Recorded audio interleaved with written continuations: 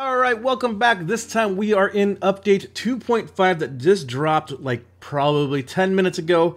I'm going to be doing a chest opening where I open up 10 of the mystery epic chests and 10 of the mystery rare chests. The reason why I'm doing this is I want to see what is actually most beneficial as far as if you're trying to go for talents. Say for instance you already have all the skins, you have most of the heroes. Is it still worth to go with the mystery epic chest or just go straight for the mystery rare chest? And so this video is kind of to kind of test that waters and see what's best for you guys who are in this situation and want to buy talents. All right. So first off, you know, obviously I'd always recommend buying the today's talents with glory. You know, I'd buy, you know, two of those so I can at least get them unlocked.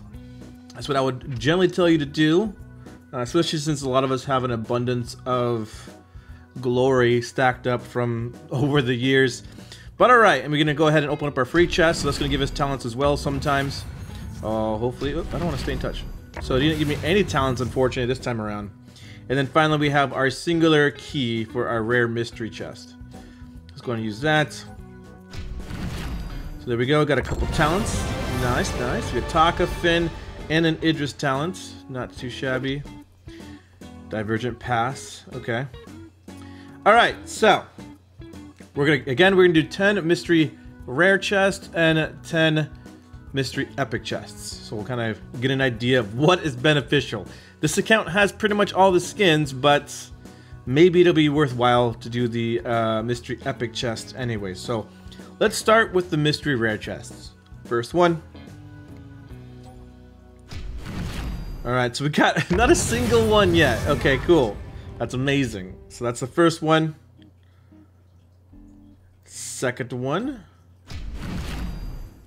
okay. So, so far the rare chests don't seem to be very uh, effective when it comes to getting talents. There's the singular one. So we have the Glimmer Volley for the Kestrel there. That was, that was three. This is four. Alright, so we got a Ringo the long shots. Alright, so we're starting to get a talent almost everyone now. This is the fifth one. We've gotten, what, three talents so far in total? Two or three?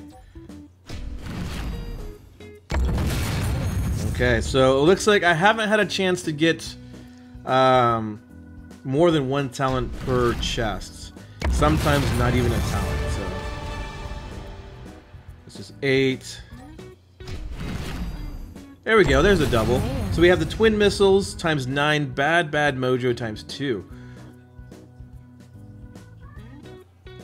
That's the ninth box.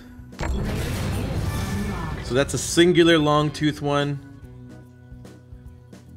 Alright, so this is the last mystery rare chest. So it looks like, you know, you get some pretty good rolls if you're lucky with a high count in the talents. So I got like a 9 Lyra one, I think it was.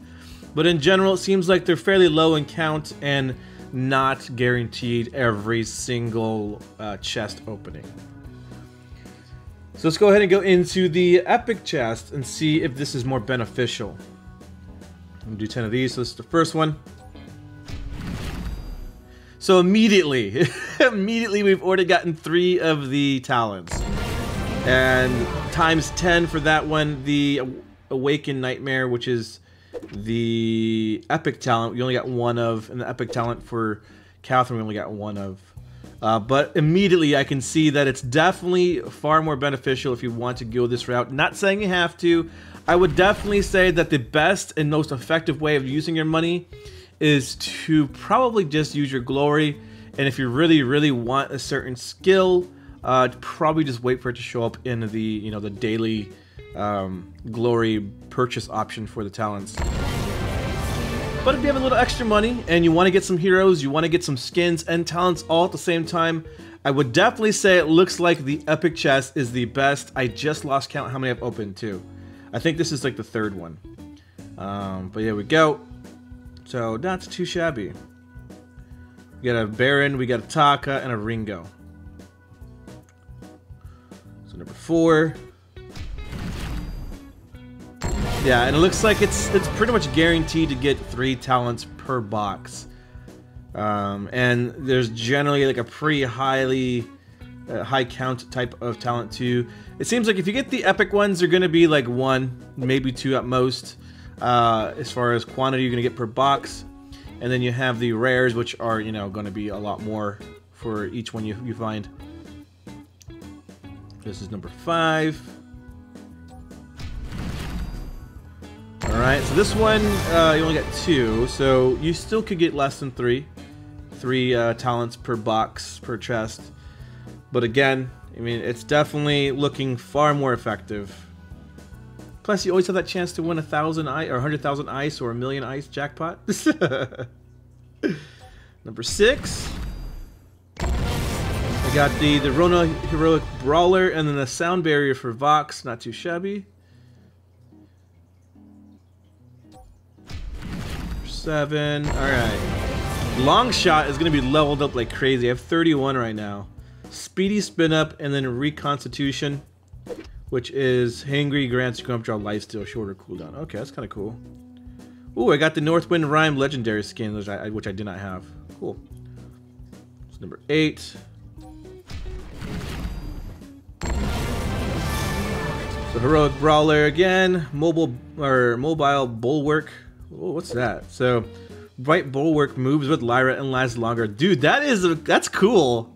So you can basically just run around and shut anybody with mobility down constantly, no matter where you are, as long as it's during the duration of the ability. So that's pretty cool. And then this Gift of Light grants fortified health equal to a portion of its burst heal. Okay. What is Heroic Brawler? Basic attack, reduce the cooldown of Into the Fray by 10%. Into the Fray, lower damage, run a passively gains attack speed. Hmm. Alright, this is number 9, I believe. I'll probably do an, an extra one just because I think I've maybe missed something. Glimmer Volley, we know what that one is. I did the video on that one already. You get 7 range and you have uh, 2 arrows at launch.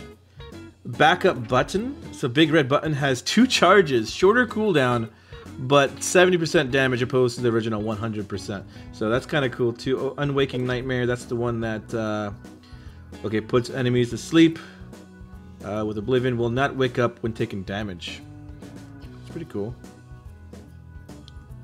Oh, well, this is the 10th one that I've counted, but I'm going to do one extra one just to kind of make sure. Ooh, what's this? The legendary talent. All right, cool. So Heliogenesis supernovas cause other stars to supernova, lower damage. Okay. So basically, what you want to do is you want to lay down all your heliogenesis, and then when you actually supernova, it, it activates all of them in that area. That's kind of cool. Galaxy collapse. That's cool. Alright, and then the Path of, of the Seeker. All Divergent Path perk bonuses are unlocked and range attack deals full damage. So basically it makes your basic attack far more effective. Because it doesn't really reduce any of the damage. Alright, we'll do one more. There we go. So we have the Bullet Split. So Twirling Silver causes Ringo's basic attack to fire a secondary shot at a nearby target. Split shot. Lower damage, Twirling Silver longer cooldown. Okay. So basically you're double shooting, or you're doing a double shot every time you fire during your Twirling Silver. Spectral Smite heals nearby allies. Krul is now a healer. and Krul passively gains crystal power. Interesting. So there we go. So, I mean, I definitely say that the epic mystery chests are far more effective if you're going to go this route. Like I said, if you are going to spend a little bit of money to kind of get a you know a bunch of cool talents that you may not get for a long while, um, I would definitely you know get the epic mystery chest. It's far more worth your money uh, overall because it seems like the rarity as well as the count on these uh, talents are far more. At least from first glance, I might be, uh, you know, a little bit wrong in certain areas as far as quantity, but I would definitely say you get more talents per box than you do the epic or the rare mystery chest. But then again, the rare mystery chest is only 200 I suppose, to a 1000 for the epic one. Uh, but like I said, I think it's definitely far more beneficial to go to epic mystery just because you get higher level talents plus a lot more of them, it seems. And, you know, you, you get the other perks of getting heroes and skins that you may not have. So, I know a lot of you guys uh, may not have skins, because like me, unlike me, I spent a lot of money in this game already. Uh, and then my other account obviously gets unlocked by SCMC. Um, but yeah, I mean, for me, I have a lot of skins already, so it's not as beneficial. But a lot for a lot of the, the general general like community of players in Vainglory, like you'll have a lot of opportunities to get skins that you probably don't have. Uh, and so I would definitely say Epic Mystery Chest is by far, in general, the most effective means to spend your money as far as talents, getting hero skins, so on and so forth. Uh, but there we go. Um, again, definitely get the today's talents each day. It changes, um, I think, right? Because it says today's talent, So I'm assuming it's a 24 hour cycle. Uh, so definitely do that um, and get your free chest because you have chances of getting talents there. So if you don't want to spend money, that is the way to do it. And then also you have the the uh, daily, I think, quest. So if you go to the main page here, you can get the hero chests. And it says, you know, play with five different heroes to collect talents for them. Surrendering bot matches does not count. So in actual blitz mode, battle royale, brawl mode type of environments, if you use any heroes, five of them, once you do that, you'll get a bunch of talents for those specific heroes. And I believe that's on a 24 hour cycle. You can do that once per day, um, as far as I'm concerned. It, it, may not, but I remember in beta you could. So, uh, but there you go. So hopefully you guys enjoyed this video doing the uh, unboxing of the talents. Hopefully this is a little bit more insightful to kind of gauging how you guys will spend your money if you are going to. That way you don't have to do it to figure it out. I do it for you guys so that you guys can know, okay, this is how it works uh, without having to spend a single dime. Um, but yeah, enjoy 2.5 guys, and I will see you guys next time. Later.